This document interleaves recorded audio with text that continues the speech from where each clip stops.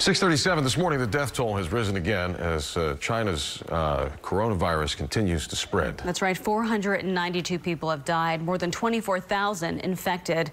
And now there's new concerns the virus could have escaped quarantine before anyone ever suspected this. You are now looking live at Travis Air Force Base at Basefield in Fairfield, California. That's where two planes have landed carrying American evacuees from Wuhan, China. One will drop them off to be quarantined. The other will refuel and head to another airbase. Health reporter Haley Hernandez is following all of the latest on this. Haley. Yeah, good morning, guys. So I just want to remind you that this is not a virus that's here in our community, but it is one we anxiously watch because of how contagious it is. Scientists want to stop the spread before it crosses borders because it is so contagious. But researchers at the University of Texas say it may have spread beyond containment.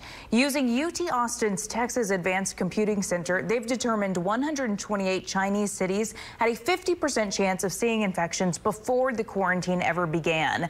They also believe as many as 11,200 people may have been infected in Wuhan. That's 10 times the number China reported when their quarantine started.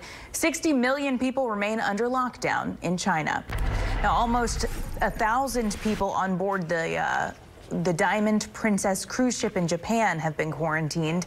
The major decision comes after 11 people on board the ship were diagnosed with the coronavirus. 428 Americans are also on the ship, but there's no word if any of them are showing signs of the virus as of right now.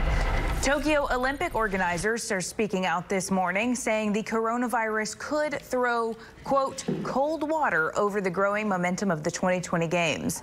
In a meeting today, organizers said they are concerned. Several qualifying events, including badminton and boxing, have been postponed due to the virus. There are no plans, though, to cancel the Olympics by any means.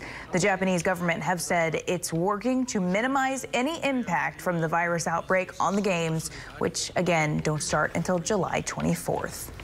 Wow. All right. Thank you, Haley, for that update. Mm -hmm.